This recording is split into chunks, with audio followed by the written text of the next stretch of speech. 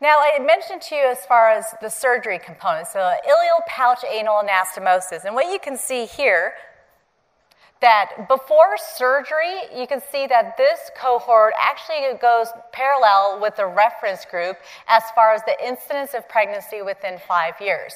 But post surgery, so post IPAA or J pouch, now you actually have a reduction in the ability to become pregnant within the five year time frame or even longer. So almost about now these patients have only an ability of about 30% likelihood of potentially even getting pregnant.